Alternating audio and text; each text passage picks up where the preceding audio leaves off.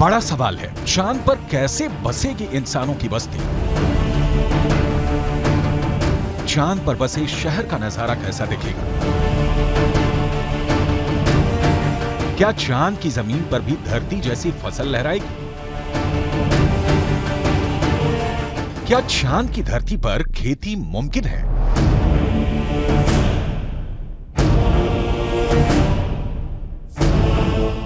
विज्ञान कहता है कि चाँद पर अभी इंसानों के रहने लायक वातावरण नहीं है, लेकिन नासा का कहना है कि आने वाले वक्त में चंद्रमा की धरती को रहने लायक बनाया जा सकता है। लेकिन दावे के मुताबिक चाँद पर बसने वाली बस्ती नहीं होगी सस्ती। अंतरिक्ष में चंद्रमा धरती का सबसे करीबी पड़ोसी पिंड है। पिछले छह दशकों में इंसानों ने सौ से भी अधिक मून मिशन को अंजाम दिया है। सभी मिशन को कामयाबी नहीं मिली। लेकिन इन मिशन ने चाँद को सबसे ज़्यादा खोजा जाने वाला स्थान बना दिया और अब चंद्रमा पर जीवन की संभावनाओं की तलाश हो रही है।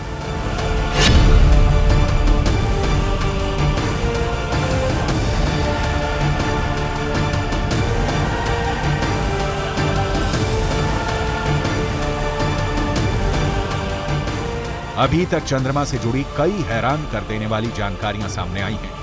दावा किया जाता है कि चंद्रमा की मिट्टी में कई तरह के खनिज हैं। चाँद की सतह पर पानी होने के भी सबूत मिल चुके हैं। वैज्ञानिकों का मानना है कि चाँद पर जीवन के सबूत भी मिल सकते हैं। संभावना जताई जा रही है कि भविष्य में चंद्रमा पर मानव बस्ती बसाने का सपना पूरा हो सकता है। लेकिन ये काम इतना भी आसान नहीं है। चंद्रमा पर इंसान के कदम भले ही साल उन्नीस में पड़ गए हों।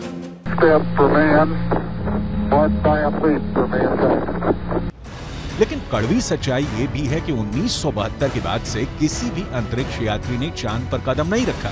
जब से इंसान ने चाँद पर कदम रखा है, तभी से वहाँ इंसानी बस्ती बसाने की चर्चा चल रही है। 1972 से अभी तक इक्यावन सालों में कई मून मिशन भेजे गए, और उससे जो जानकारी हासिल हुई, उसके बाद से अब चाँद पर मानव बस्ती का सपना जल्द आसान हो सकता है। लेकिन ये बहुत अधिक खर्चीला भी हो सकता है। क्योंकि अगर चंद्रमा पर कॉलोनी शुरू करने के लिए धरती से सामान भेजने होंगे तो ये काफ़ी महँगा साबित होगा। एक अनुमान के मुताबिक सिर्फ़ 100 लोगों के लिए चाँद पर ज़रूरी सामान भेजने के लिए करीब सवा लाख करोड़ रुपए का खर्च आएगा। ऐसे में अगर चाँद पर इंसान को रहने लायक बस्ती बसानी है तो सबसे पहले रोटी, कपड़ा और मकान जैसी बुनियादी जरूरतों को पूरा करना होगा। जिसमें सांस लेने के लिए हवा, पीने के लिए पानी, पेट भरने के लिए खाना, हवा के दबाव से लैस रहने लायक जगह और रोशनी के लिए बिजली ज़रूरी होगी।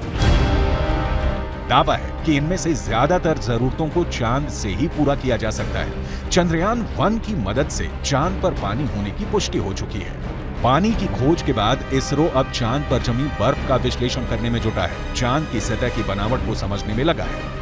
नासा के मुताबिक चाँद के दक्षिणी ध्रुव पर बर्फ़ है। बर्फ़ के साथ साथ वहाँ दूसरे प्राकृतिक संसाधन भी हो सकते हैं। साल उन्नीस में नासा ने मून मिशन के तहत ये बताया था कि दक्षिणी ध्रुव पर हाइड्रोजन है। नासा का दावा है कि अधिक मात्रा में हाइड्रोजन होने की वजह से वहाँ बर्फ़ होने की संभावना है। इसके अलावा चाँद के दक्षिणी ध्रुव पर बड़े बड़े पहाड़ और कई गड्ढे हैं। ज़्यादातर गड्ढे ऐसे हैं जहाँ अरबों साल से अंधेरा है। अमेरिका के नासा के मुताबिक घुप अंधेरे के बीच यहाँ बर्फ़ का जमाव हो सकता है। अंदाज़ा ये भी है कि चाँद के दक्षिणी ध्रुव पर अरबों सालों से पानी बर्फ़ के रूप में जमा हो सकता है। अगर चंद्रयान थ्री का लैंडर और रोअर चाँद पर बर्फ़ की मौजूदगी की पुष्टि कर देते हैं तो वहाँ मानव बस्ती बसाने की संभावना और बढ़ जाएगी। हालाँकि इससे पहले भी चंद्रमा की सतह पर पानी होने के संकेत मिले थे। चाँद के छाया में रहने वाले हिस्से में पानी के होने के संकेत मिल चुके हैं। वैज्ञानिकों को चाँद के उस हिस्से में पानी होने के साक्ष्य भी मिले हैं, जहाँ सूर्य का सीधा प्रकाश पड़ता है। ऐसे में अगर चंद्रयान थ्री चाँद के दक्षिणी ध्रुव पर पर्याप्त बर्फ़ होने की पुष्टि कर देता है तो चाँद की सतह पर मौजूद बर्फीले पानी से इंसानों की बस्ती और चंद्रमा पर अर्थव्यवस्था के लिए आधार को तैयार करने में मददगार साबित हो सकती है। आइए, रसायन विज्ञान की भाषा में समझ लेते हैं कि ये कैसे मुमकिन हो सकता है। रसायन विज्ञान में बर्फीले पानी का रासायनिक सूत्र होता है H2O। पानी एक एक अणु में हाइड्रोजन और ऑक्सीजन दो एक के अनुपात में मौजूद होता है। यानी पानी के एक अणु को हाइड्रोजन और ऑक्सीजन में तोड़ा जा सकता है। H two O equals H two plus O two यानी पानी की मौजूदगी में चाँद पर सांस लेने के लिए ऑक्सीजन बनाना आसान है। वहीं पानी से हाइड्रोजन और ऑक्सीजन को अलग करके ईंधन के तौर पर इस्तेमाल कर सकेंगे। साथ ही साथ पानी से चाँद पर बिजली भी तैयार की जा सकती है।